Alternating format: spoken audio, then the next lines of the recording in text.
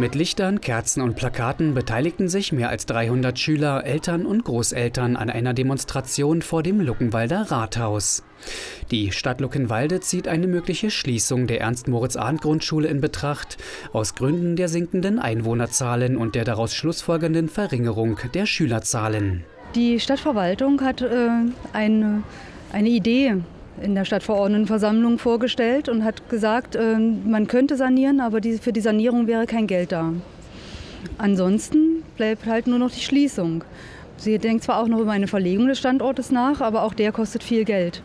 Für uns war es eben halt äh, als Eltern, als Lehrer und auch als ähm, Elternsprecher eine völlige Überraschung, als wir das aus der Zeitung erfahren haben.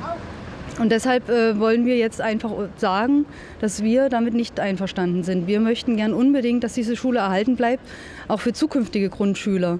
Wir brauchen kurze Wege zur Schule. Wir brauchen, eine, brauchen kleine Klassenstärken. Wir wollen auf gar keinen Fall, dass die Vorteile, die unsere Schule bietet, einfach kaputt gemacht werden. Wir haben eine super Infrastruktur. Wir sind äh, ganz in der Nähe von einem Spielplatz. Wir haben ein Sportfeld direkt vor der Tür. Die Straße wurde frisch saniert und unser Hortgebäude auch. Und es wäre völlig unsinnig, das jetzt einfach ähm, zu ignorieren. Und äh, die Sanierung steht schon lange Jahre fest, steht schon viele Jahre aus, ist dringend überfällig und es muss möglich sein, sie durchzuführen. Der finanzielle Aspekt darf laut Elterninitiative nicht das alleinige Argument sein, um über den Erhalt der Ahnschule zu entscheiden. Die Lage, die über 100-jährige Tradition und die Gefahr zu großer Klassen bei einer Verlegung der Schüler auf andere Schulen müssen in Betracht gezogen werden. Im Moment wissen wir nur, dass die Geburtenraten stabil sind. Wir wissen, dass wir ein Wirtschaftswachstum in Luckenwalde haben. Für uns sieht es im Moment nicht so aus, als ob die Schülerzahlen sinken. Natürlich wissen wir alle nicht, was in 20, 30 Jahren ist. Und es werden halt Rechenbeispiele angestellt, aber immer mit dem Ziel, dann zu sagen, es gibt große Klassen. Große Klassenverbände wollen, sehen wir aber als Gefahr. Für die, äh, die Kinder brauchen kleine Klassenverbände. Und äh, wenn die Schule geschlossen wird und auf die zwei anderen Standorte verteilt wird, gäbe es höhere Klassenstärken. Bürgermeisterin Elisabeth Herzog von der Heide äußerte sich zum Sachverhalt, zeigte sich aber verständnisvoll gegenüber den Schülern und Eltern. Und die Maßnahme, die ich vorgeschlagen habe, äh, hat ihre, soll ihre Wirkung entfalten, dass äh, im, in 2015 das letzte Mal eine erste Klasse eingeschult wird und im Jahre 2019 dann die Umtopfung in Anführungszeichen der fünften und sechsten Klasse erfolgen soll. Also ein weiter Zeitlauf und dass auch all die Schüler, die jetzt in der Ahnschule sind und sich dieser Schule verbunden fühlen, auch noch ihre Schule, ihre Grundschulzeit dort beenden können. Also etwas ist auch bedacht worden. Auch Schüler und Eltern äußerten sich, hier ein paar Meinungen. Die Ahnschule ist ein Schulstandort mit Tradition, wo die Kinder gerne lernen. Es ist eine kleine Schule, an der sich äh, die Schüler, die Lehrer, die Eltern kennen. Es ist eine Schule, wo schon jetzt Integrationsarbeit gelebt wird.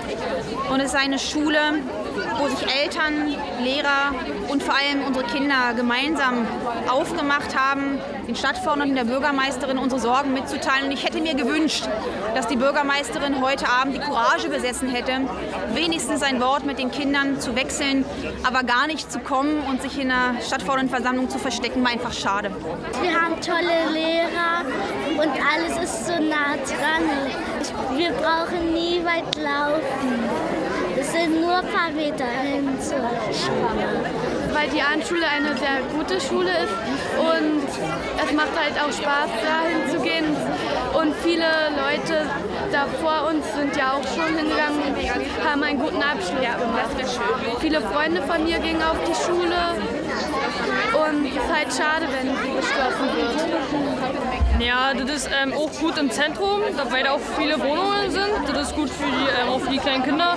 Und auch die anderen ähm, Schulen werden total überfüllt und es würde gar nicht mehr, nicht mehr gehen, finde ich. Und wir kämpfen einfach für die Bildung in Luckenwalde, da zwei Schulen einfach für uns äh, nicht akzeptabel sind, weil diese Schulen, diese vielen Kinder im Sinne der, der Inklusion, die uns bevorsteht und der Integration der, kind, der vielen Kinder, äh, einfach nicht äh, gegeben ist.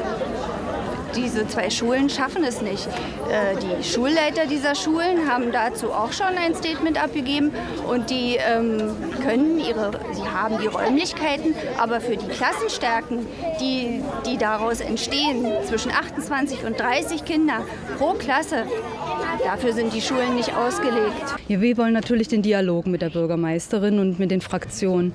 Das, das ist uns ganz wichtig, weil wir ja auch wissen müssen, erstmal, wo fehlt überhaupt Geld. Das ist für uns im Moment noch nicht bekannt. Wir wissen nur, dass Geld fehlt für die Sanierung, aber nicht an welchen Stellen. Wir wollen natürlich gerne auch äh, unseren Beitrag leisten. Und deshalb ist es ganz wichtig, dass wir erstmal in das Gespräch mit, äh, mit den Vertretern der Stadt kommen.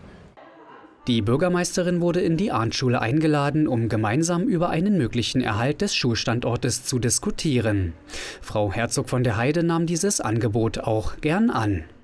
Wir kommen natürlich dann irgendwann zu einem Punkt, äh, wo wir alle Argumente ausgetauscht haben und dann wird jeder für sich dafür empfinden und sagen, das ist haltbar oder das ist nicht haltbar. Aber diesen Prozess wollen wir vorantragen. Ich denke, wir werden auch, da müssen wir uns nicht in der Tasche lügen, wahrscheinlich nicht zu einem Ergebnis kommen, wo wir alle sagen, das macht uns alle glücklich. Aber wir können versuchen, den Weg dahin, vielleicht Maßnahmen, Zeitabläufe zu finden, die also auch aus ihrer Sicht und der der Eltern und Lehrer äh, und natürlich auch der Kinder verträglicher ist. Aber all die Kinder, die heute als Schüler der Abendschule um ihre Schule bangen, die sind von dieser Maßnahme, so wie ich sie vorgeschlagen habe, nicht betroffen. Das möchte ich an dieser Stelle auch noch die Kinder können sich nicht vorstellen, dass ihre Schule geschlossen werden soll, äh, auch wenn sie selber vielleicht nicht davon betroffen sind. Ihnen ist es wichtig zu wissen, ah, das ist meine Schule und da möchte ich gerne, äh, da war ich gern gewesen und da möchte ich mich immer gern dran erinnern.